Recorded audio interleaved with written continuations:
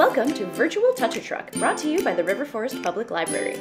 We've brought all the exciting trucks you love to explore at Touch a Truck to a screen near you. Join us as we meet some of the members of the community and the vehicles that they drive. Buckle up because here we go! Today, we are at the River Forest Fire Department with Fire Marshal Kevin Wiley to check out one of the fire engines we have right here in River Forest. This is Miss Dannie from the River Forest Public Library. My pronouns are she, her, and they, them.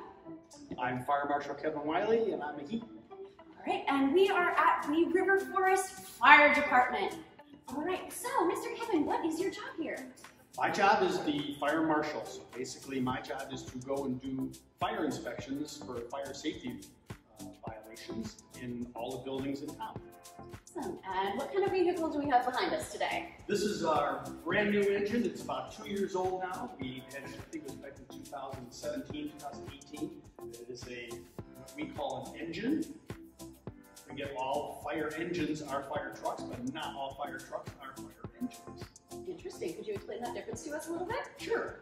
We have a ladder truck. It just so happens to be it's, it's in for repair right now, but our ladder truck has a big ladder on top, and you can, when we've past touch of trucks, we've had that out on the street. Um, right now we can't have that because it's been for being in service. This is an engine, so this is the one that pumps all the water to the fire. All right. Does it need to be a specific color? It doesn't need to be, but here in River Forest, all of our engines and all of our fire trucks in general have a red bottom and a white top. Cool. And does this truck, what is the coolest thing that this truck does? I guess you could say the coolest thing that this truck does is it cools the fire. So where are we walking into?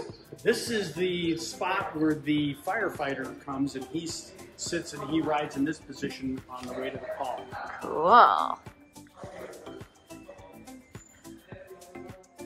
And there's some gear on the floor. And what do all these what do all these levers do? This is the actual pump panel or the pump control. So the, the, the engineer stands here and sends all the, he moves all those levers and sends the water into different hose lines that have been laid out to fight the fire.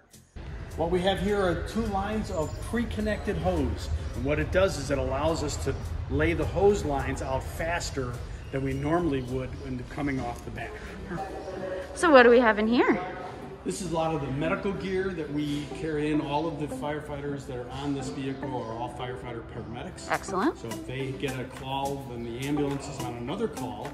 This engine can take in the call and still do everything a paramedic and an ambulance would do except transport.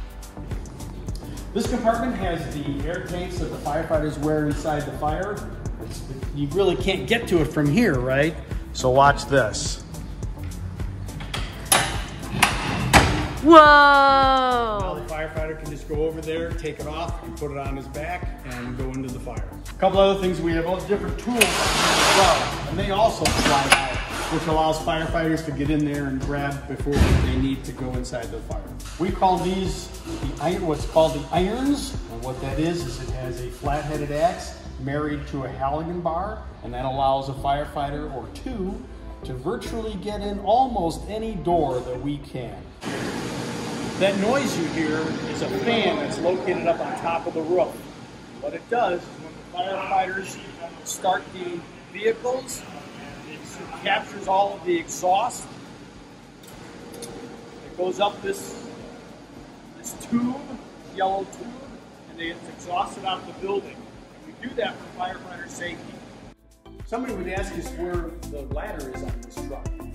We used to have it on the outside, but it used to get real dirty and everything, so we decided to hide it. So now the ladders are all in this compartment, and it's all hide, hidden, and but it's still protected, so it's not going to get water and rain and everything on it. Here, these are our rescue tools, and they're all battery operated, so it makes it a lot lighter than what the older units used to be.